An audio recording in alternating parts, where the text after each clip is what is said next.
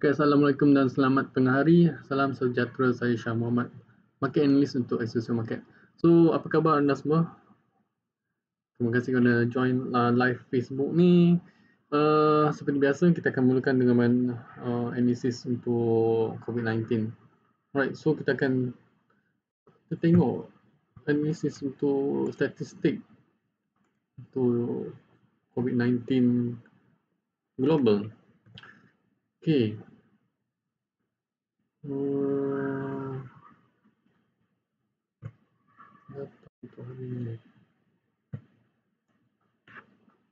Alright, so kita punya statistik untuk COVID-19 secara global basically oh, ada peningkatan hampir 20,000 kalau kita bandingkan dengan uh, semalam baru 50,000 dan 40,000 40, 40 lebih 50 tapi hari ini ada peningkatan daripada data semalam hampir 60,000 dan kita dah hampir dekat 4 juta kes coronavirus yang di seluruh uh, seluruh dunia. Hampir 4 juta. Sekarang 3.8 juta.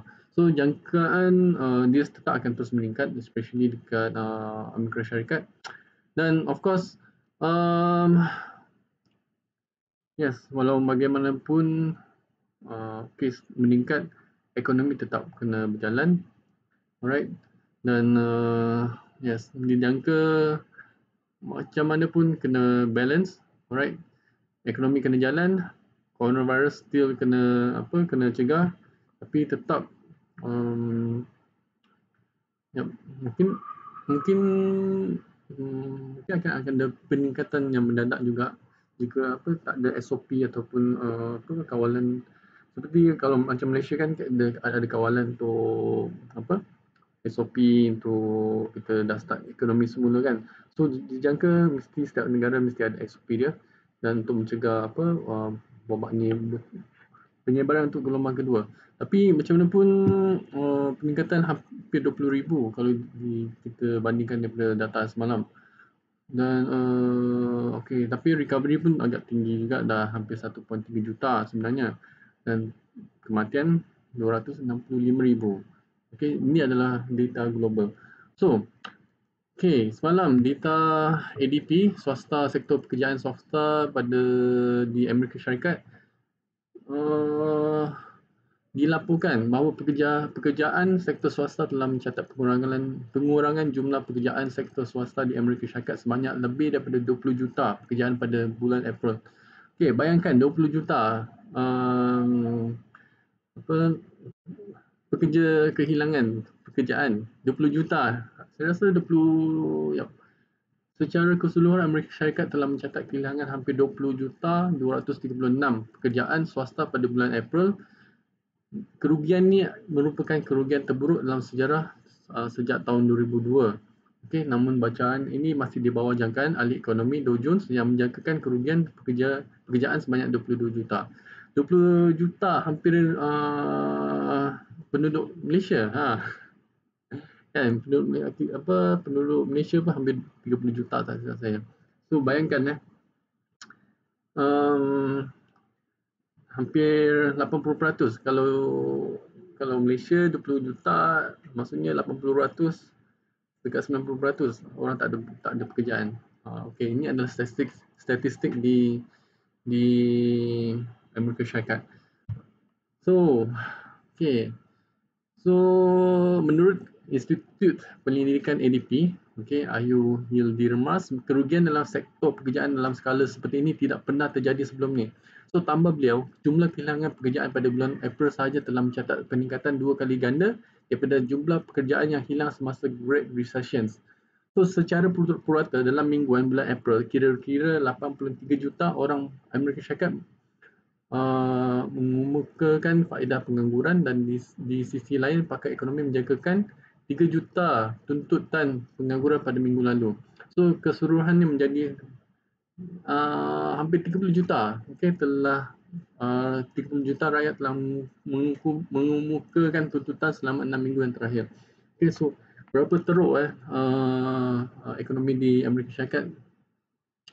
So of course pakar ekonomi dah menjangkakan um, orang kata um, akan berlaku recession. Alright, that's why Trump Presiden Amerika Syarikat uh, apa dia push untuk membuka ekonomi semula dengan uh, secepat yang mungkin. Alright, ini adalah sedikit sebanyak uh, news untuk US dollar in, uh, apa untuk tentang di Amerika Syarikat. Dan of course, uh, tapi kalau kita tengok pada peningkatan kes di New York, uh, hampir enam, hampir mendata, alright. So ada juga berita yang baik juga tentang uh, di Amerika Syarikat tak, uh, tak tak bukan COVID-19 ni tak orang kata tak uh, sebelum seperti sebelum ni dia melonjak meningkat tapi dia dah start untuk uh, slow down, right? So guys, uh, Waalaikumsalam kepada uh, Hakimi Manaf uh, Hakimi Azizi dan selamat tengah hari kepada Brian. Dan Assalamualaikum Muhammad uh, Daniel. Terima kasih kepada anda join.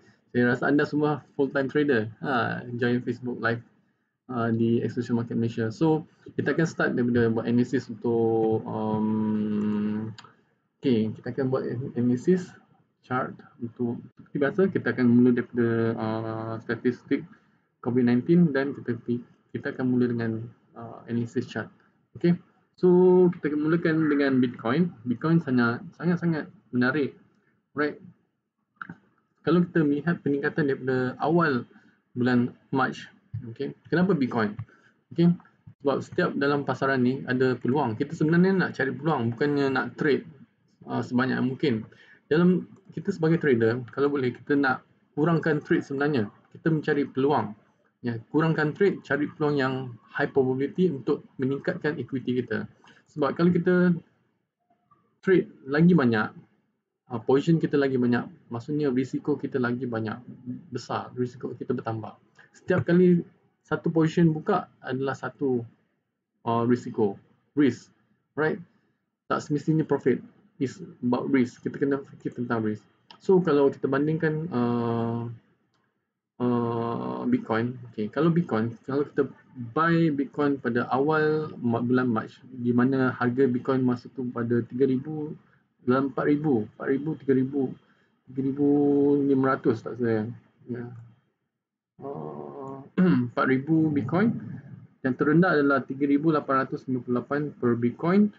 Uh, peningkatan sampai ke hari ini hampir 144.12% Yasmin dalam 55,000 sorry 556,000 hampir setengah juta points uh, peningkatan. So ini adalah Bitcoin. That's why dalam as a trader, kita sebagai trader kita sebenarnya nak cari peluang je sebenarnya. Okay.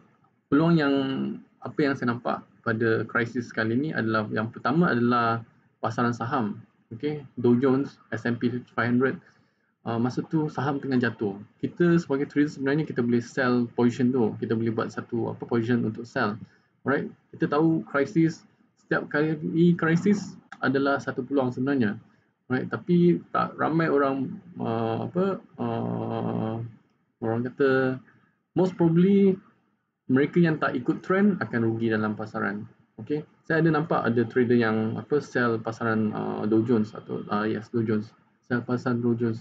Daripada equity dia berapa ribu hampir daripada beberapa ribu US dollar dah jadi ratus ribu US dollar. Disebabkan dia sell daripada apa atas alright sama juga macam pasaran minyak. Siapa yang ada trade pasaran minyak? Yes. Ramai trader uh, aware apabila pasaran minyak tu jatuh. Yes. So macam pasaran minyak juga saya ada nampak satu trader uh, daripada equity equity dia 7000 okey dia beli pada uh, harga tak silap saya pada harga 3 dolar setong. Dan keesokannya hari equity dia daripada 7000 menjadi 100000 yes itu adalah pasaran minyak that's why dalam uh, apa dalam sebagai trader kita kena cari peluang sebenarnya bukan trade as often as sebanyak yang mungkin right dan apa yang saya nampak dalam Bitcoin pun ada satu peluang. Okay, peningkatannya. Maksudnya dia dah jatuh, jatuh mendadak dan dia buat satu peningkatan. Kalau kita perasan, uh, pasaran minyak pun dia jatuh, dia naik balik. Alright, dan pasaran saham pun dia dah jatuh, dia naik balik, dia melonjak balik. Alright, so ini adalah pasaran uh, Bitcoin. Tapi untuk Bitcoin, Bitcoin sangat-sangat menarik. Okay, sebab Bitcoin punya rumors, okay, uh, rumors lah, rumors tentang Bitcoin ataupun news tentang Bitcoin sebab selepas halving uh, data-data halving okay? Selepas halving ni adalah apa maksudnya Bitcoin tu diseparatekan right? So untuk pada tahun 2016 um, Bitcoin harga Bitcoin daripada 650 per dolar uh, melonjak hingga 20 dolar per Bitcoin. Okay? Maksudnya dalam 3000 25% peningkatan. Itu adalah Bitcoin itu pada tahun 2006 16 sorry. Kalau 2020 uh, 2012 okay Bitcoin meningkat daripada 12 dolar hingga 650 dolar. So peningkatan hampir 5416 persen uh, peratus. Okay peningkatan. Dan uh, halving ada dalam lagi 12 uh, tak salah saya minggu depan okay so uh, pakar-pakar ataupun uh, apa uh, mereka yang buat analisis tentang Bitcoin ni mengatakan bahawa Bitcoin akan mencecah hingga 152 152,400 per Bitcoin uh, sebelum the next halving pada 2024. Okay, anda percaya tak kalau Bitcoin boleh naik sampai 150,000 hingga 250,000 per Bitcoin? Yes, tapi ramai orang tak percaya kan. Tapi this is the facts. Maksudnya we have to buy the rumors and sell the facts. That's why kita ada uh, apa ada platform. Tak semestinya kita trade, kita boleh beli Bitcoin tu. That's why dalam pasaran ni uh, apa uh, trader ni dia orang percaya pada rumors. So we have to buy the rumors. Okay, tak rugi pun kita beli rumors tu. Okay. So once we apa once uh, kalau dia melonjak 100,000 atau 150,000 per Bitcoin kan uh, untung tak? Yes. Sangat-sangat untung. Of course kalau kita tengok pada um, pas tak semestinya Bitcoin. Kalau pasaran dekat uh, cryptocurrencies ni dia boleh melonjak 100% uh, equity kita dalam masa satu bulan. Ha. Right. So tak ada yang mustahil. Okay, so based pada uh, Bitcoin yang data yang dalam charta ni daripada bulan uh, March hari ni bulan Mei kan So peningkatan dia hampir 144,000. Okay. So jangkaan saya dalam um, dalam analisis saya jika harga Bitcoin mencecah 100 uh, 20,000 uh, 12,000 sorry. Bitcoin cecah uh, 12,000 so peningkatannya hampir 200%. Okay, tapi pakar-pakar Bitcoin ataupun pakar-pakar analisis yang selain uh, daripada apa kalau kita tengok pada analisis analisis Bitcoin dia boleh mencecah 15000 per Bitcoin yang dijangkakan. Right so kalau 15000 uh, per Bitcoin dia hampir kepada 300% right so ini adalah pasaran Bitcoin. Okay so ambil peluang okay cari peluang sebenarnya. That's why kita kena buat satu analisis mencari peluang di dalam pasaran. Okay so um, seperti pasaran emas. Ah pasaran emas pun kita tak dapat kita tak menjangkakan dia melonjak sampai 1600 ataupun 1700 hingga 1000 ah yes paling tinggi 1700 tak ada siapa yang menjangkakan. Tapi uh, pada 2019 uh, eh, tak selesai 2018 news tentang um, pasaran emas okay, fund managers atau bank-bank besar ni mereka mereka dalam menjangkakan akan melonjak setinggi itu. Alright. So that's why we have to aware uh, apa news-news daripada big boys ataupun uh, analysis analysis yang daripada pakar-pakar. Alright. So ini adalah pasaran Bitcoin. So ambil peluang. Alright. So ini adalah sedikit uh, orang kata add-ons untuk dalam analisis yang saya sampaikan. Okay sebab um, bagi saya saya nak bagi peluang kepada anda okay, memahami tentang pergerakan-pergerakan yang uh, high probability untuk kita sebenarnya kita nak untung je kan ha. so ambil peluang okay, ini adalah pasaran Bitcoin okay. so untuk the next macam biasa kita akan start daripada US dollar index so US dollar index kita akan tengok okay. Okay, walaupun ekonomi Amerika Syarikat uh, orang dikatakan apa? Dikatakan uh, apa? Uh, sektor pekerjaan uh, apa, mengalami hampir 30 ribu uh, 30 juta pengangguran tetapi masih kuat. Currency US dollar ni masih kuat. Adalah kerana okay US dollar adalah sebahagian daripada safe haven okay? And cash is king okay? US dollar paling kuat sekarang alright? Masih masih orang kata everybody needs US dollar alright yang kedua adalah emas. Okay? And then of course QE QE daripada uh, Fed juga uh, unlimited QE okay, orang dah hampir pump hampir 3 trillion okay, dalam pasaran. Dan of course mereka juga menjagakan um, coronavirus ni um, mereka segera mencegah coronavirus punya uh, penuka, apa pe, penularan. Ah yes tapi bagi saya pemandangan saya untuk US dollar index ni dia akan jatuh yes selepas jika jika berlaku recession atau mereka umumkan recession sebab sekarang mereka tak umumkan secara mereka tak apa public publicly menyatakan uh, ekonomi uh, apa Amerika Syarikat senteruk. Mereka macam maybe cover cover up ataupun mereka belum mengumumkan apa recession tak belum lagi. Okay, dia hanya rumor saja. Okay, so based pada US dollar index kalau kita tengok pada satu jam um, So, macam US dollar apa atau pasar, pasaran saham kalau kalau kita tengok pada history-history yang sebelum ni kalau pasaran saham tu jatuh uh, dia punya recovery ambil masa dalam 2 3 tahun. Tapi untuk krisis krisis kali ni sangat-sangat mengejutkan okey dia boleh turun dalam uh, beberapa, minggu tapi dia naik balik alright nanti saya akan tunjuk pasaran saham So, untuk pasaran uh, US dollar index, okay, so US dollar index ni sangat-sangat penting untuk kita buat correlation between uh, major pair sebenarnya. Nanti kalau ada follow saya semalam untuk uh, analysis uh, major pair seperti EU, GU, right, semua un, uh, um, semua on point. Okay. So, saya akan buat satu mapping baru. Okay. Buat mapping baru.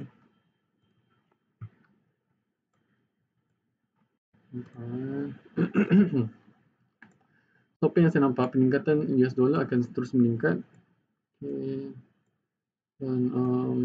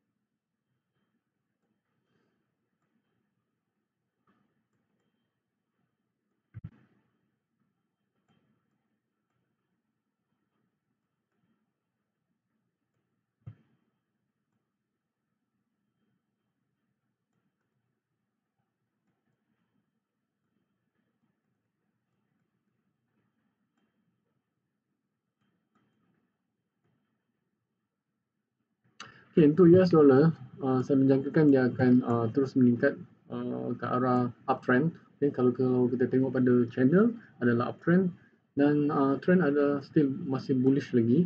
Okay, kalau base pada EMA 150 200 pun menunjukkan uh, strong bullish, right? So saya jangka akan uh, buat peningkatan terus membuat peningkatan untuk US dollar dan uh, kita akan target ke arah resistance ni. Hmm.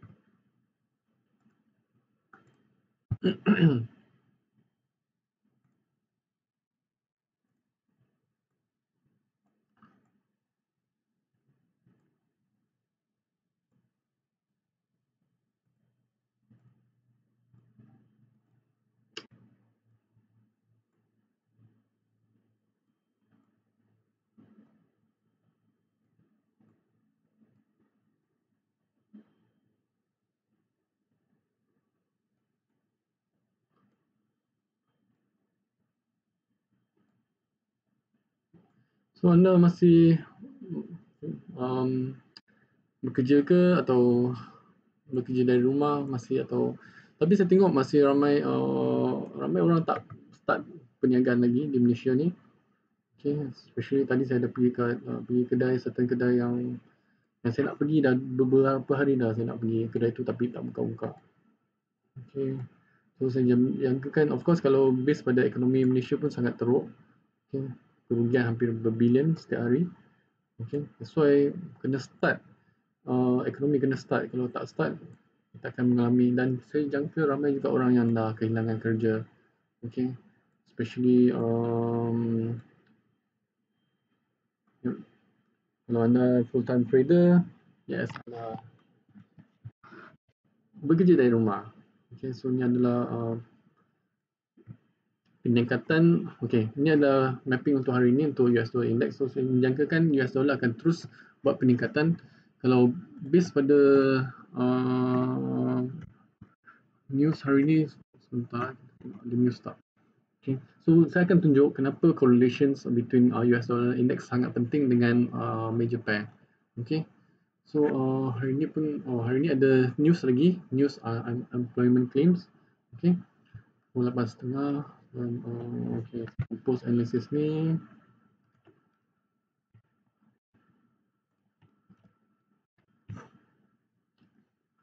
So kepada anda yang apa nak ataupun nak tengok analisis-analisis saya semua ada di dalam trading view. Okay, boleh pergi ke site Bahasa Malaysia. Okay, Bahasa Melayu atau bahasa Malaysia atau uh, untuk dia adalah untuk uh, Malaysia. Okay.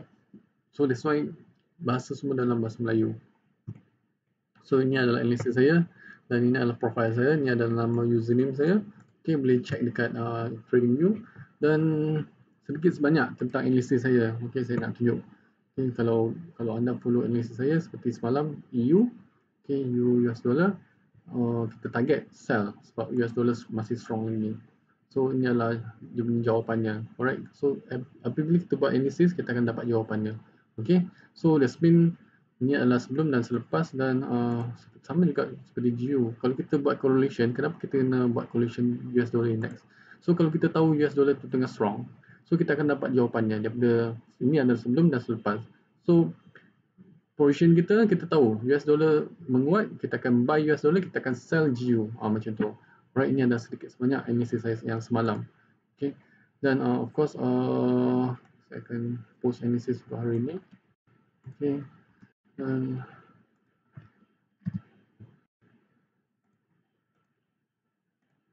Of course, apabila kita buat analisis, tak semestinya analisis kita kena semua tepat. That's why kita kena datang dengan risk management. So, dengan risk management yang kita ada, kita boleh kawalkan risiko kita tak tak habiskan equity kita terus dengan satu kali trade macam tu okay.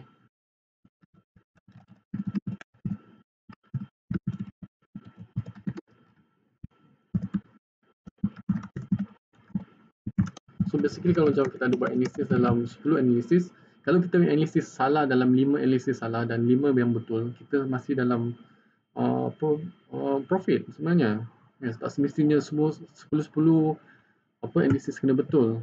Yep. Alright, so ini adalah analisis untuk US dollar index. Okay. Yep. Even pun uh, yep, at least 50-50 lah uh, kita punya trade kena uh, win winning trade, winning rate. Winning rate kita 50-50 kita kita equities masih grow orang kata. Okay. So kita akan buat analisis untuk um,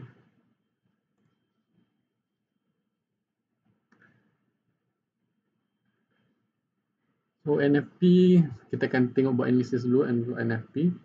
Okay. So untuk peningkatan pada pasaran emas. Okay. Emas ni dah ranging untuk beberapa minggu dah buat range, range trading saja. Okay. So sangat-sangat uh, kena be aware. Okay. Saya rasa range trading hampir daripada March. Okay. Ranging market maksudnya dia hanya mendata okey menata di maksudnya di sini dan sampai sini je dia tak ada buat apa dia tak ada peningkatan maksudnya dia tak ada buat rally. Dia masih dalam range trading.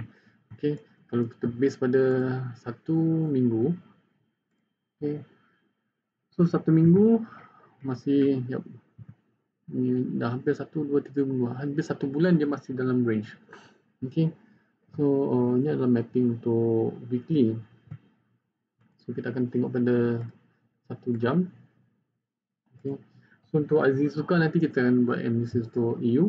Okay. Untuk hari Jumaat ni dan uh, saya akan buat mapping yang baru untuk pasaran emas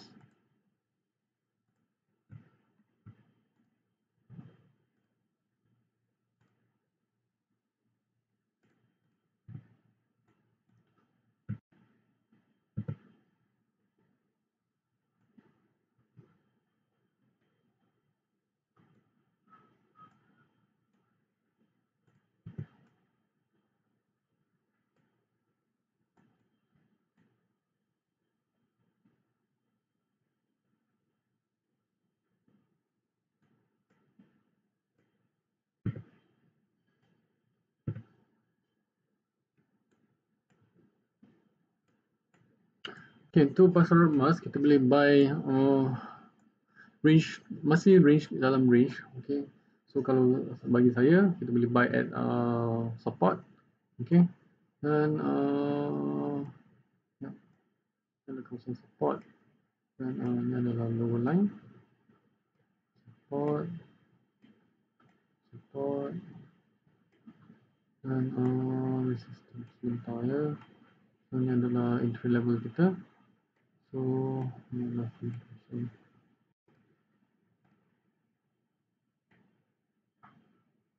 Support, support, support. Ini adalah median.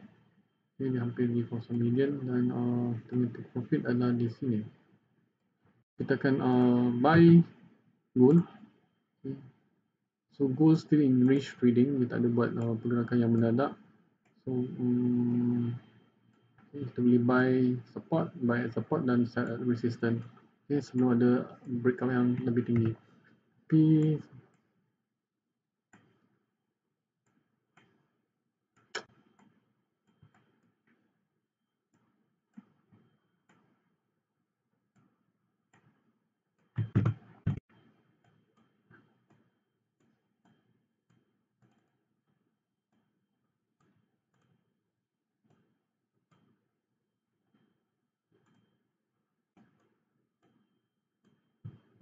Mm.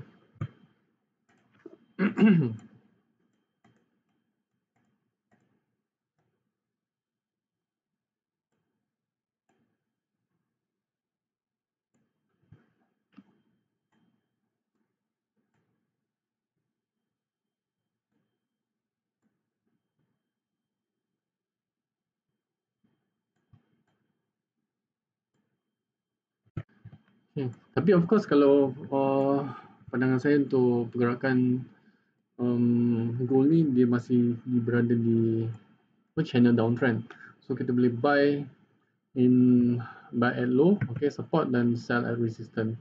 Okay, ini adalah jangkaan saya untuk pergerakan gold. Okay, memandangkan walaupun dia still in uh, range trading, so kena at least kita punya risk and reward lebih tinggi. Reward lebih tinggi daripada risk. Right. So um, ini adalah pergerakan untuk gold hari ini. Dan juga saya akan arah ke arah upline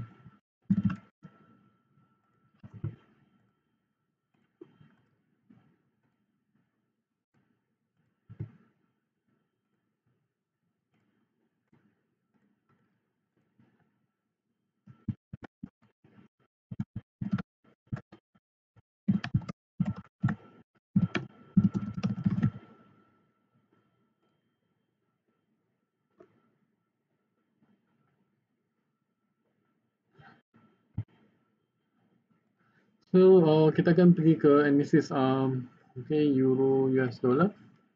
Okay, euro US dollar. Okay, yang pertama sekali kita kena memahami uh, pergerakan pada time frame seminggu. Okay, satu minggu kita tengok pergerakannya. Okay, kalau base pada satu minggu, pergerakannya adalah uh, bearish, okay, very strong bearish okay, even candlestick untuk uh, dia uh, bearish. Dan dia dah break di kawasan support okay.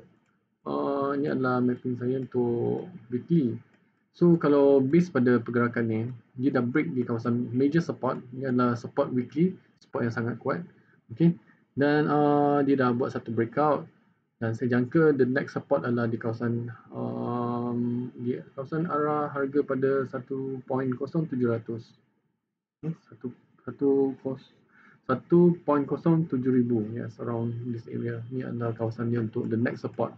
So kalau the next support mencecah ke arah sini dan of course kita kena tengok outlook untuk um, euro. Dan bagi saya data euro pada semalam pun um, agak agak teruk dan agak buruk okay?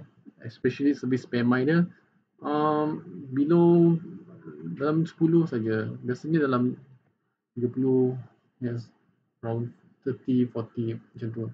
Tapi Spanish uh, Spanish Italy French German okay the whole Euro um, apa data-data PMI uh, sangat teruk okay. That's why kita nampak kejatuhan pada um, kejatuhan pada Euro okay.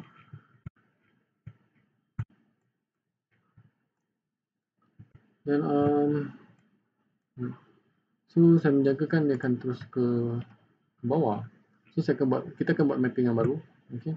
So semalam dah memang on target dan kita tengok gerakan dia untuk EU. EU dia dah sampai ke penghujung Fibo. Actually Fibo uh, level yang saya letak ni.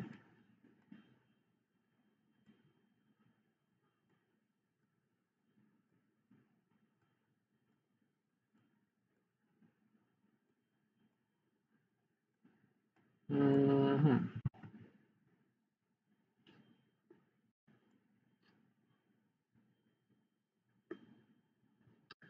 Kita akan adjust sikit okay, untuk dapatkan pergerakan dia.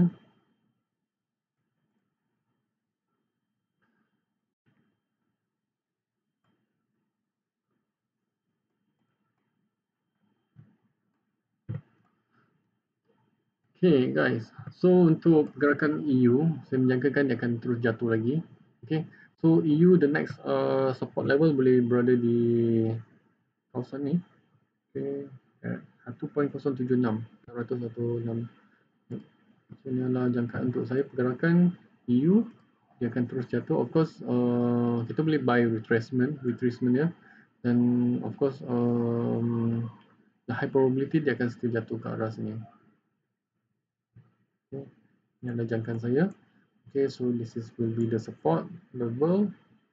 And then of course pengiraan daripada risk and reward pun sangat bagus, sangat tinggi. So that's why saya uh, mengambil keputusan untuk uh, terus sell uh, euro. Okay. So kalau kita buat analysis pada awal tadi, kalau US dollar index menguat, uh, that's why kita kena terus beli buy EU, uh, buy dollar, okay, dan kita sell EU. Kalau kita tahu EU ada melemah, so ini adalah kita punya resistance level so that's mean resistance level ni adalah kita punya stop loss level okay sebab kalau dia mencecah resistance dia ke atas dan tak ada stop loss so this mean kita punya position akan loss. So numbers numbers untuk uh, entry semua ada di belakang belah kanan ni. Ni adalah entry level numbers. Okay stop loss number uh, dan ini ada profit. Okay kat belah kanan hujung ni. Sini adalah numbers numbers untuk kita buat uh, apa? Uh, kita punya take profit ataupun kita punya stop loss entry level kalau kita ada pending orders. Okay. So ni adalah line. Okay.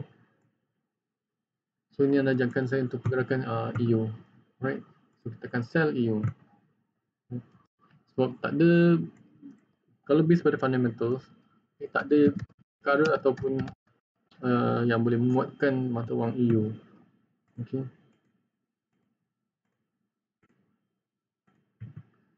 Tapi of course one uh, dah start ekonomi dah start mula balik.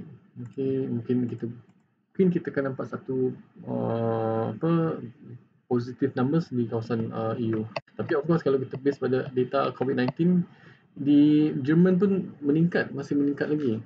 Okay, so kita akan sell EU. Dan, uh,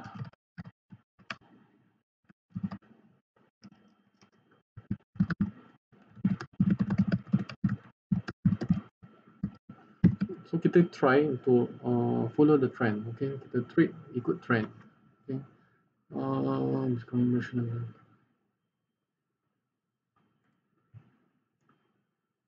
So untuk Aziz Suka, yes of course uh, lama tak jumpa, semua orang pun duduk rumah tak jumpa dan uh, alhamdulillah masih sihat dan um, yep. kali ni raya dan puasa uh, agak berlainan sedikit. Okay. Uh, kita semua stay at home. Terawih kat rumah menjadi imam. Okay. Uh, kita banyak meluangkan masa dengan keluarga kita dan memang memang orang kata sangat-sangat satu rahmat tau. Ha, macam tu. Uh, kita tak apa selama ni kita kerja busy kerja cari duit kan ha, ni lah masa untuk kita bersama keluarga kita betul tak so untuk pergerakan uh, GU, GU pun lebih kurang sama. Kalau uh, okay, GU petang ni kita ada news untuk uh, GBP, uh, Bank, uh, sorry, uh, yes, pound. So Bank of England akan menurunkan faedah pada hari Khamis atau pada hari ini. Okay, ini adalah pandangan analisis. So Bank Pusat England dijangka akan mengekalkan kadar faedah tidak berubah pada hari Khamis ini iaitu pada hari ini. Jadi Para penganalisis menjangkakan komuniti pengubahan dasar monetary akan menangguhkan sebarang tindakan pengubahan dasar monetary, monetary sehingga akhir bulan Jun bagi menilai kesan tindakan pencegahan pandemik COVID-19. So sejak penurunan wabak ni, Bank Pusat telah menurunkan kadar faedah sebanyak dua kali dan mengumumkan pakej rangsangan sebanyak 200 bilion pound. Okay, ia menjadikan program pembelian bond meningkat kepada 645 bilion okay, pound pound sterling. So package package rancangan tersebut adalah antara bertujuan untuk menyalurkan dana langsung kepada syarikat-syarikat yang terkesan dengan pandemik COVID-19. So saluran kewangan untuk sistem kewangan termasuk pelonggaran syarat untuk pemberi uh, pemberi pinjaman. Okey walau, bagaimanapun bacaan uh, PMI itu indeks pembeli pengurus uh, berada pada tahap yang terendah dan penganalisis menjangkakan penurunan ekonomi yang paling buruk pernah terjadi di uh, yang pernah terjadi lah. So penganalisis menjangkakan uh, apa dia akan meningkatkan pakej rangsangan pada kali ini lagi. Okey so seperti juga macam Malaysia okey pada awalnya mengatakan uh, tak ada interest ada ada interest rate eh sorry uh, apa kita punya loan kan tak ada interest rate. Okey dan tiba-tiba uh, ada interest rate balik oleh BNM tapi alhamdulillah semalam uh, apa uh, uh, yang berhormat yang berhormat um, uh, baca news sedikit.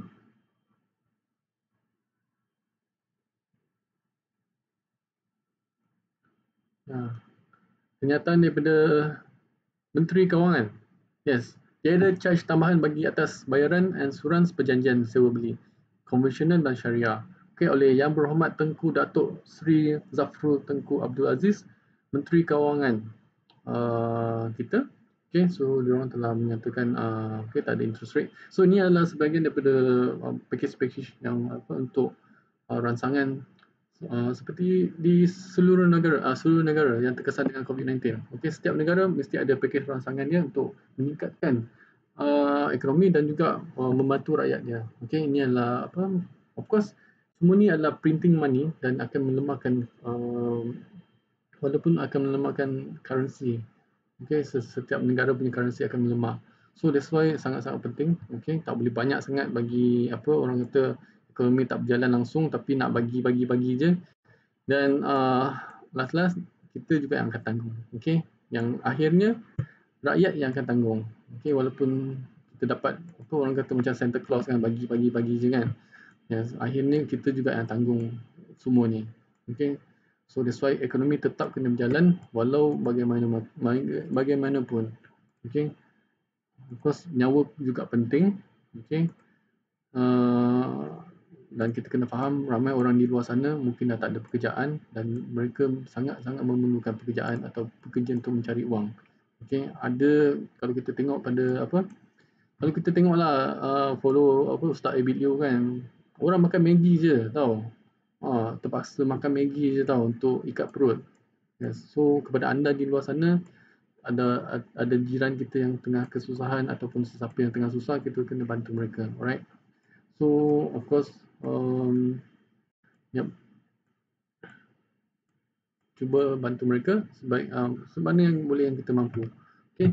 So untuk uh, pasaran GBP US dollar uh, saya menjangkakan ia akan terus menurun Okay, so kita boleh uh, ambil peluang untuk kita sell position ni.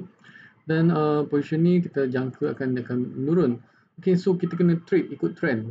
Cuba trade ikut trend. Okay, jangan try untuk beli buy pullback sebab buy pullback boleh tapi kita akan uh, macam terasa eh kenapa untung sikit sangat kan so bila kita ada perasaan macam tu tapi kita nak lebih tapi dia tak mengikut kita punya pergerakan dan akhirnya bila dah lawan trend kita akan merasa rugi bila rugi sedikit kita tak nak loss bila rugi banyak kita biarkan je dan ha, sampai habis equity baru kita perasan eh kenapa lah kenapa lah kenapa kan ha, macam tu So kita kena try trade ikut trend. Okay. So melalui analisis ni walaupun uh, sebab kenapa kita kena ikut trend. So saya just memberi anda jangkaan. Okay. Numbers on the risk and reward. Kalau kita buat stop loss 30% atau ataupun 30 pips, okay ni adalah stop loss dalam 30 pips ataupun 30 pips, tapi kita punya profit level adalah hampir 50 pips. Okay. So kita kita profit Yes, 50 pips berbanding dengan risk uh, 30 pips. Okay. Dan of course pergerakan ni mungkin boleh menurun lagi sampai 100 pip. Okay, tak tak ada yang mustahil. Okay. So jangkaan saya dia boleh capai 100 pip lagi. Okay. Ini adalah uh, analysis untuk GU. Dan uh, katakan uh, post analysis ni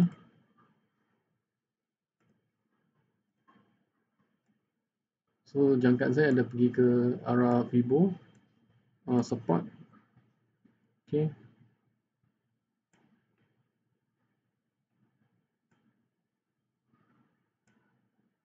Ni adalah upper line medium line Okay, so ni adalah uh, untuk analysis untuk GU. So kita trade ikut trend. Okay, trade ikut trend. Walaupun kita nampak harga tu sedang menurun, tengah jatuh. Okay dan uh,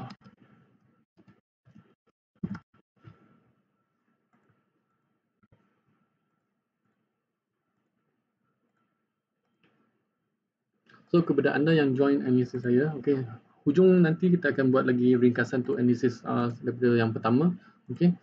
So uh,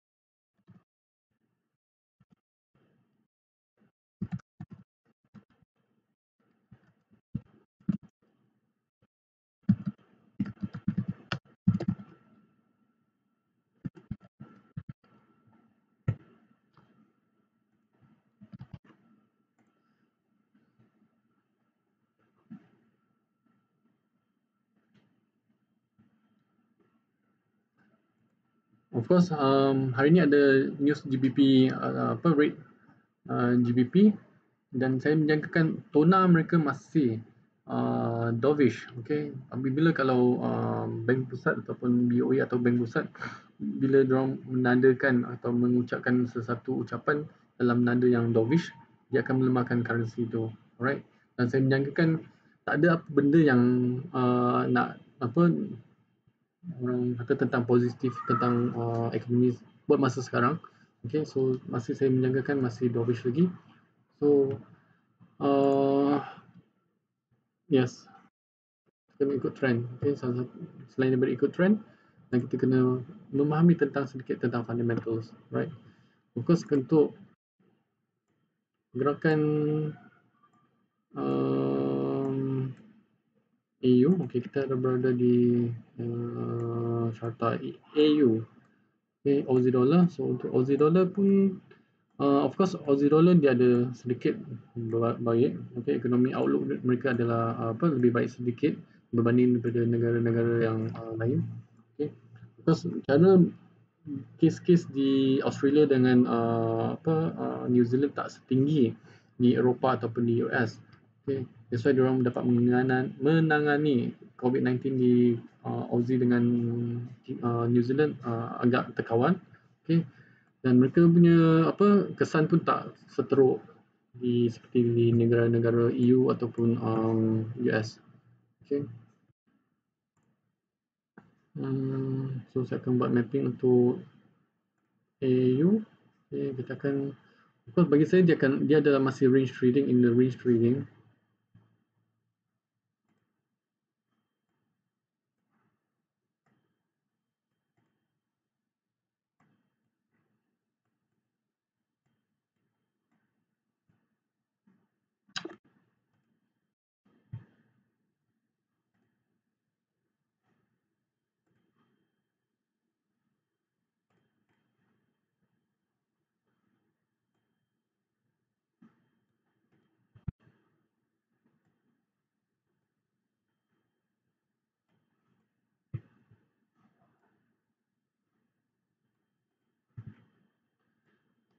Okay, so untuk AU, saya pun uh, melihatkan pergerakan dia masih mendatar, right? So high probability, high probably dia akan uh, meningkat ke arah upper line. Okay, so uh, based pada analysis ni, uh, saya menyangkakan dia akan ke arah, uh, ke arah upper line. Dan uh, kita boleh buy position ni.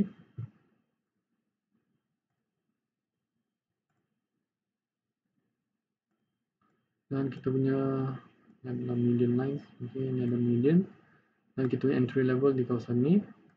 Dan kita punya stop loss adalah di kawasan ni okey dan uh, ini adalah fibo ini adalah low line. Dan ini adalah kita punya resistance okey ini resistance kita adalah di upper line. So upper line dia ada uh, ini adalah resistance okey dan uh, ini adalah support kita So untuk kepada anda kalau nak follow trade ni atau analysis ni, so pastikan stop loss, take profit semua ada berada di belah kanan ni. Ini adalah numbers-numbers untuk stop loss, entry level dengan uh, take profit. Okay. So ini adalah jangkaan pergerakan untuk AU. So saya masih menjangkakan uh, AU US dollar masih dalam range trading. Of course peningkatan memang sangat uh, apa masih terkuat lagi currency AU dengan Kiwi masih uh, antara currency yang kuat. Okay, kalau membandingkan GU dengan uh, EU. So, kita akan post analysis ni untuk EU. Okay.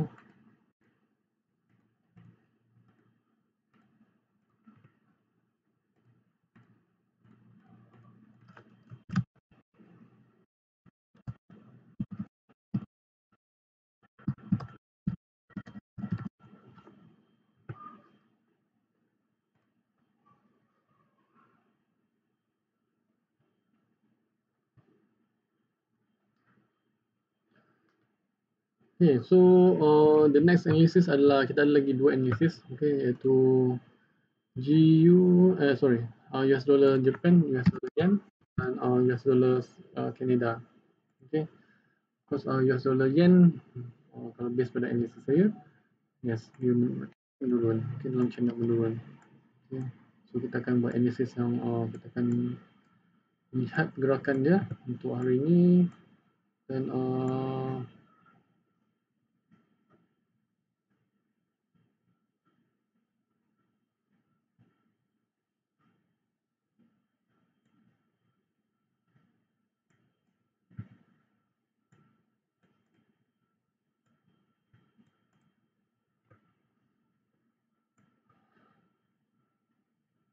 Okay, so untuk um, dollar yen, okay, dollar yen kita boleh cari peluang untuk sell lagi. Sebab uh, dia dah menghampiri ke arah support di kawasan weekly. Okay, kalau base pada weekly, ni adalah yang line warna merah ni adalah support pada weekly. Dan dia sedang menuju ke arah um, support ni. Okey satu minggu. Ini adalah carta untuk satu minggu. So saya akan tunjuk carta satu minggu. Kalau carta satu minggu ni um, memang clear cut dia ada dia menuju ke arah lower line di weekly. Okey weekly ni memang this is the major support. Okey so base pada basic pitchfork daripada upper line dia akan turun ke lower line. Okey so ini adalah boleh marking di kawasan 105 okey around 105 500 hmm. Hmm. kawasan support major support so saya jangka dia akan terus menurun okay, kalau base pada satu minggu kita boleh cari peluang untuk sell okay. because uh, dia dah menghampiri so jangka dia akan ada buat satu retracement yang sangat besar di kawasan ni okay. ini will be the the uh, apa the consolidations untuk um, untuk pasaran US dollar yen okay consolidation di kawasan ni ada satu retracement yang besar. So kita boleh ambil peluang untuk di kawasan lower line support. Okay, di lower line kita boleh entry. Sampai kalau kita boleh cari peluang untuk sell lagi. Tapi of course siapa yang ada buat apa sell daripada awal minggu yes, boleh hold position tu lagi. Okay, so akan, uh, ni adalah resistance kita kita akan naikkan resistance level dia dan uh, ini adalah upper line dan kita beli entry level di kawasan Apple Line. Okay.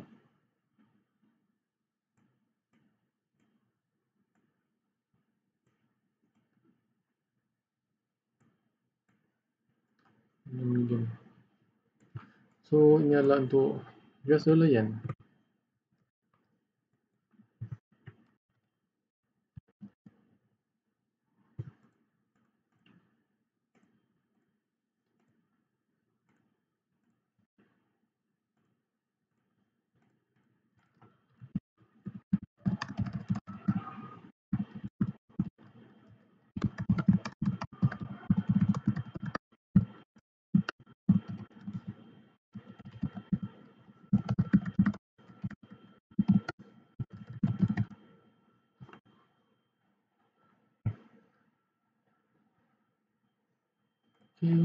Ini adalah US dollar uh, yen. Okay guys, so uh, ada lagi dua analisis iaitu US dollar, oh sorry ada tiga. Okay, kita akan buat uh, lagi satu US dollar Canada. Okay, Luni. Luni sangat menarik juga. Okay, of course. Kita akan tengok pergerakan uh, US dollar Canada. Dan uh, US dollar Canada, yes, uh, dibuat peningkatan semalam. Memang kalau pada awal analisis saya pada hari hari Selasa yang hari Selasa memang dia akan melonjak naik ke arah sini. Okey? Dan uh, yep dia dah melonjak ke arah dia dah buat satu breakout. Dan sebab kalau base pada satu minggu okey analisis untuk satu minggu ha untuk analisis untuk satu minggu adalah uptrend. Okey? Sebab kalau tengok pada analisis saya pada hari hari Rabu hari Rabu hari Rabu hari Rabu. Ya ini adalah hari Rabu Mei So ini adalah analysis to US dollar CAD untuk before dan after. So ini adalah before. So memang saya menjagakan pergerakan adalah dia akan naik. Walaupun dia buat penurunan tapi dia akan terus uh, buat kenaikan lagi. Okay. Dan uh, lebih pada weekly, yes, dia masih menunjukkan uptrend. Okay. Ini adalah uptrend dan yep. Ini adalah pergerakannya. So kita tengok pada satu jam. Okay. So satu jam dia berada di luar saya akan buat mapping yang baru hmm. so mapping-mapping ni sangat penting kita boleh simpan mapping ni okay. dan uh, buat analysis buat mapping untuk kita menentukan di mana kita entry level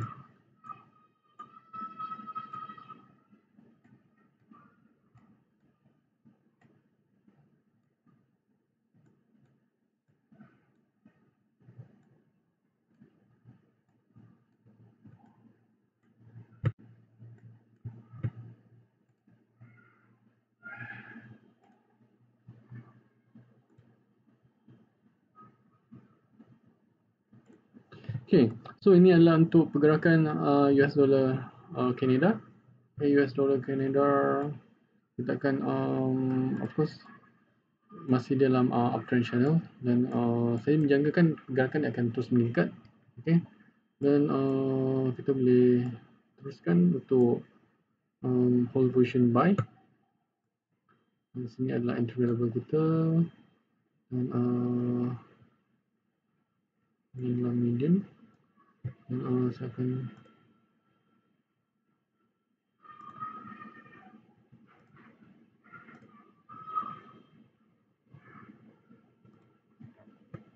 Okay, ini adalah high probability. Uh, okay. So, uh, Syafiq Kamuruddin, uh, sekali lagi saya akan ulas sebab saya dah ulas uh, GBP. So, saya akan mula balik uh, buat ringkasan tu setiap analisis yang saya dah buat. Okay, sebab kita dah hampir di penghujung untuk analisis uh, US dollar uh, Canada. So saya akan buat ulas lagi uh, sebentar lagi. Alright, selepas ni. Okay. So untuk uh, GB um, US dollar Canada akan diteruskan pergerakannya di ke arah upline dan uh, saya masih menjangkakan pergerakan untuk US dollar um, apa? US dollar Canada walaupun minyak pasaran minyak meningkat okay, memberikan efek kepada uh, mata wang Canada tapi disebabkan ada kemungkinan okay, Bank Pusat uh, BOC atau Bank of Canada menyatakan untuk uh, menyatakan untuk interest rate pada negative interest rate. That's why kita nampak pergerakan uh, e, uh, US dollar Canada melonjak pada minggu lepas. Okay, disebabkan pengumumannya. right so um so untuk Fibo so ini ada entry untuk GBP Canada. Ah sorry. Ini untuk US dollar Canada. Okay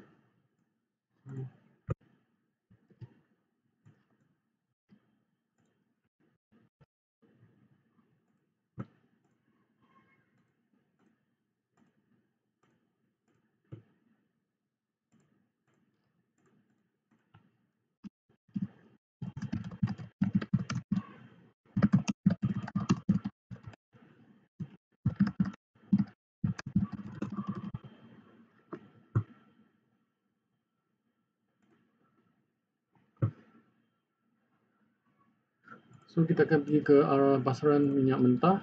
Okay. So US oil. Okay. So okay, ada beberapa broker yang masih disable um, apa trade untuk oil. Yes. Dan juga ada certain broker dia uh, lower down the margin. Yes. Ini adalah sebahagian daripada uh, orang kata apa risk management dalam uh, sebuah broker. Alright. Of course, uh, of course pricing daripada broker juga daripada liquidity liquid apa daripada liquidity provider ataupun uh, feed um, yes sebab apa bukan direct daripada broker semua harga-harga ni. Mereka ada seperti apa emas daripada Comex ataupun uh, pasar minyak mentah daripada Limex tak salah saya. Alright. So that's why ada certain broker dia disable the trade. Okay of course ini adalah sebahagian daripada risk management dan broker adalah berhak untuk provide kita apa-apa segala instrumen yang uh, mereka rasa apa yes of course di keadaan yang sekarang dalam krisis ni volatility ataupun uh, peningkatan dalam pasaran tak, tidak menentu so kadang-kadang kita tengok pada awal bulan March atau bulan April uh, uh, spread untuk pasaran emas untuk kebanyakan broker sangat besar sangat uh, dah spread dia tak menentu okay. so ini untuk pasaran uh, minyak mentah. Dan minyak mentah saya rasa saya menjangkakan dia akan melonjak uh, dia akan naik balik. Okay, of course dia sedang buat satu uh, pullback di kawasan uh, 27 dolar setong. Okay. dan uh, saya buat analysis lagi. Saya try untuk cari point yang lebih tepat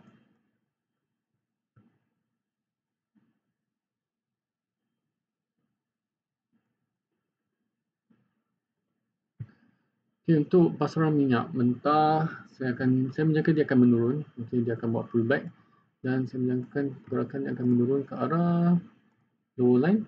Okay, masih akan menurun. So, high mobility dia akan menurun. Dan uh, Fibo Fibo Fibo okay. so, ini adalah entry level di kawasan upper line. So, resistant. Okay, kita akan buat resistant di kawasan ni. Okay, resistant dia.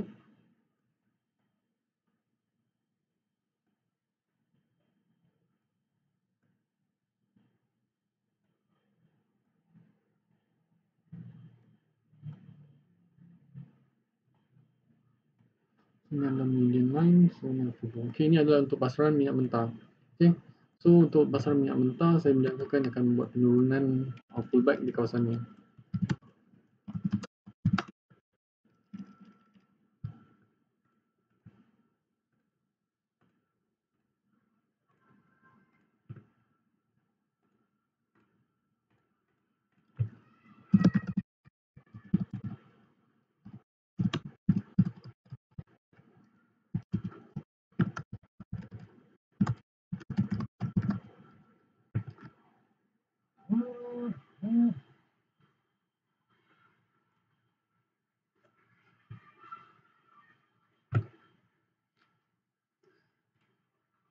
Saya ada satu request daripada uh, trader uh, untuk S&P 500.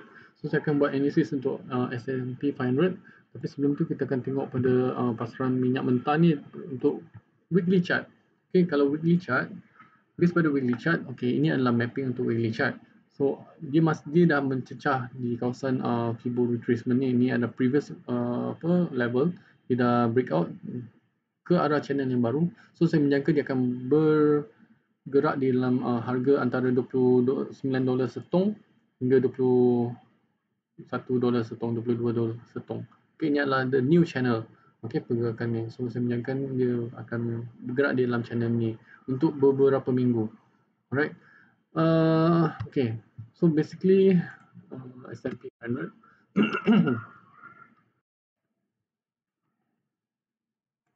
Okay, untuk S&P 500, Dow Jones, Nasdaq, pergerakan ni hampir serupa sahaja. Okay, so saya tak akan mengulaskan uh, Dow Jones dengan uh, Nasdaq. Dan uh, untuk S&P 500, ini adalah mapping untuk S&P 500 untuk weekly chart. So untuk weekly chart, pergerakannya menjangkakan dia berada di channel yang baru. Okay, of course saya akan melihat, uh, kita akan dapat melihat dia akan cuba mencecah ke arah median line. Okay, tapi sangat penting outlook untuk di Amerika Syarikat macam mana? Ha, pengangguran pun amat sangat teruk, hampir 30 ribu, uh, 30 juta. Kan? Uh, dan dia dah buat satu, actually dia dah buat satu reversal di kawasan uh, median. So ni ada di kawasan median. Okay, dan saya menjangkakan dia akan retest lagi sekali di kawasan median ni untuk dia um, buat satu retest dan sebelum dia jatuh lagi. Right? Of course kalau dia buat satu kejatuhan, kejatuhan dia boleh cecah ke arah uh, yes. Arah ni ni ada level untuk dia buat satu kejatuhan. Okay.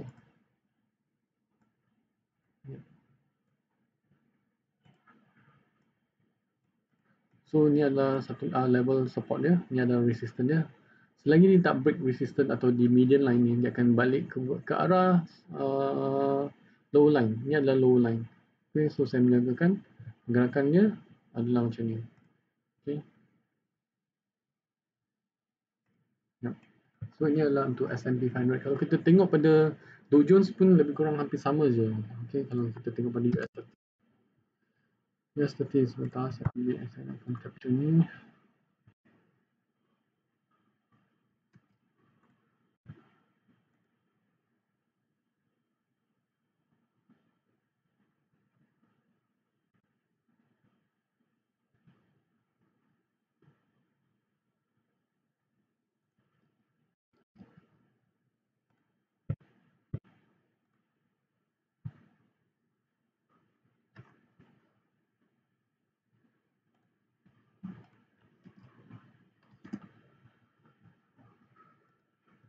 Hmm. So uh, yep. kalau US Dow Jones dia pun dah buat satu reversal di kawasan uh, low line ni yang resistant dan dia berada di kawasan support. So saya menjangkakan dia akan buat range trading dan jika dia tak melepasi ke atas dia akan terus ke bawah dia akan jatuh balik. Alright, ini adalah untuk US uh, Wall Street. Okay, Dow Jones. So untuk uh, ringkasan kembali, okay, kita akan buat ringkasan. So kita dah hampir di penghujung uh, live ni. Alright, so untuk ringkasan untuk pergerakan US dollar index ataupun mata wang uh, Amerika Syarikat, so dijangkakan masih uptrend, okay, masih meningkat walaupun dia berada di range trading. Okay, bagi saya dia masih dalam range, dia tak ada pergerakan atau satu rally ataupun um, significant drops. Okay, masih dalam range dan masih currency yang masih dipanggil safe haven dan kuat. Okay, ini adalah um, US dollar index. So correlation between uh, major pair kita boleh bandingkan. So untuk uh, pasaran emas, pasaran emas pun sama. Saya menjangkakan dia dalam range juga, masih dalam range trading. Dia akan retest di kawasan 1700 um, di kawasan-kawasan ni sebelum dia membuat satu pergerakan yang mendadak ke arah 1800. Alright, ini adalah pasaran um, apa? Uh, emas. Okay, so line merah ni adalah resistance dan ini adalah support. Okay. So ini adalah dua pergerak uh, jangkaan apa range tradingnya adalah resistance di sini, support di sini. So kalau kita tengok pada um, weekly chart pun kita nampak di dalam range. Then of course uh, emas yes dia punya pergerakan sangat tinggi meningkat. Okay, dia boleh pergi ke 2-300 pip dalam satu hari. Okay, so ini adalah emas.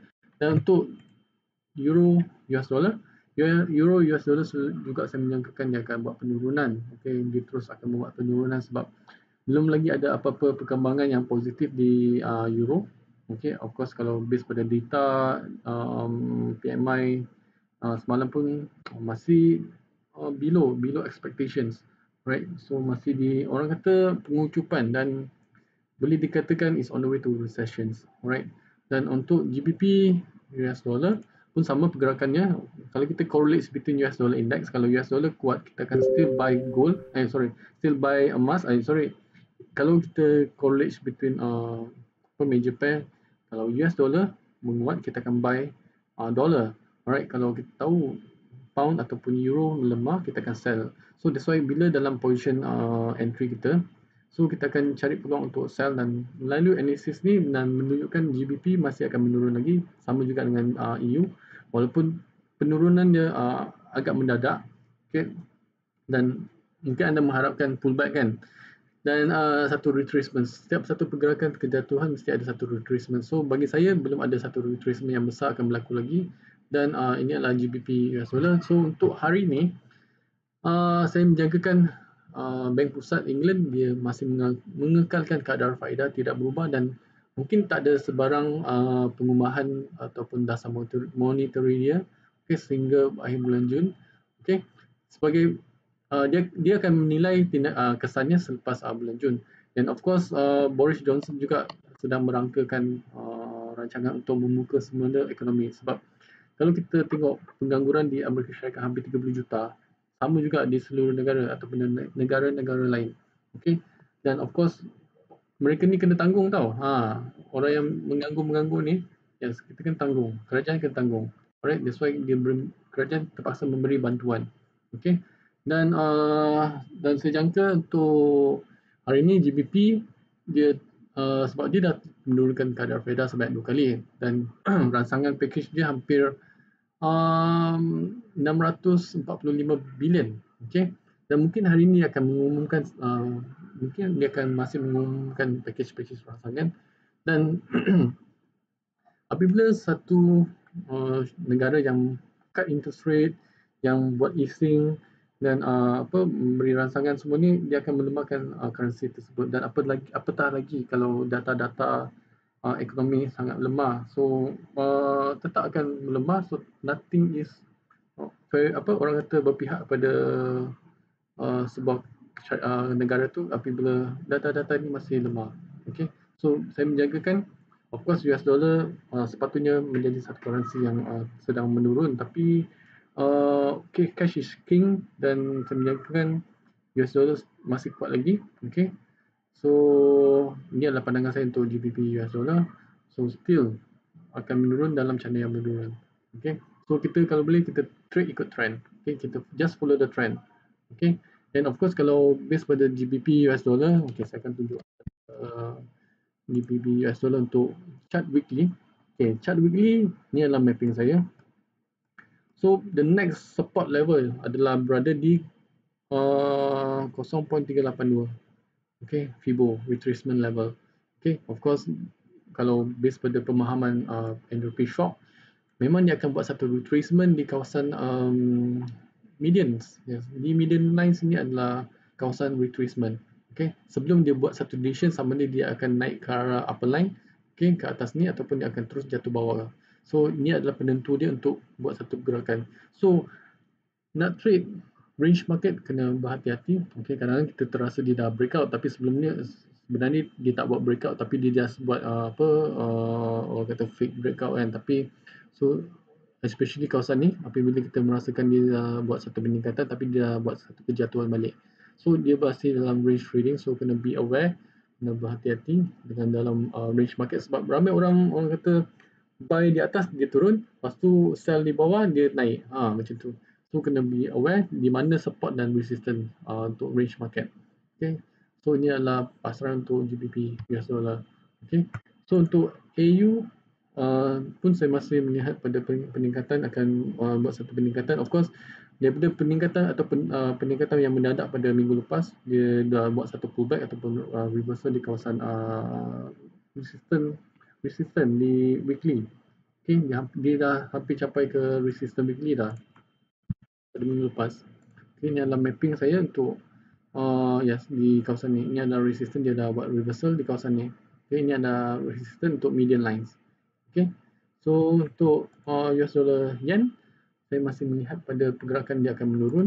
Dan kalau lihat pada pergerakan untuk um, weekly pun sama. Dia sedang menuju ke arah support. Okay this is the support level. Okay so be aware. Okay ikut trend. Biar dia buat satu retracement yang besar consolidation baru di sana adalah baru kita mengetahui bahawa pergerakan tu sedang terhenti okay sebab setiap kejatuhan ada satu pergerakan uh, ataupun consolidation okay so untuk US dollar uh, Canada okay kalau base pada uh, weekly pun sama. Okay dia sedang menuju ke arah upper line. Okay nampak gerakan dia ke arah upper line? Okay and of course kita melihat pada candle. Candle adalah bullish. So kita just follow the trend. Okay so kalau base pada satu jam punya analysis pun berada di dalam channel uptrend.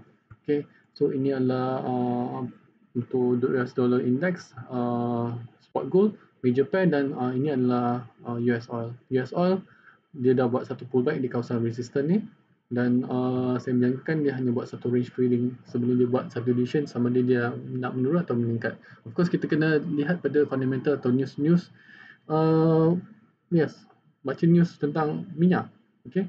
Tapi bagi saya minyak pasar minyak akan meningkat sebab uh, kebanyakan negara dah start untuk apa uh, aktiviti perniagaan atau economics.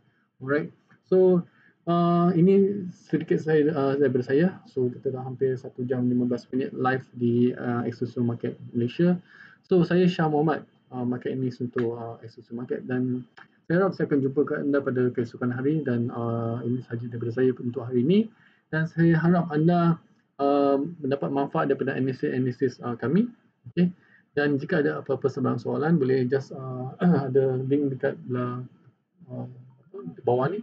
Okay boleh message saya, PM saya dan tanya apa sebarang soalan. Alright, so guys, jangan lupa cuci tangan dan uh, uh, sekarang tengah hari tak boleh makan. Okay, selamat berpuasa dan saya harap anda sihat dan uh, salam sejahtera dan Assalamualaikum. Terima kasih guys. See you tomorrow. Bye.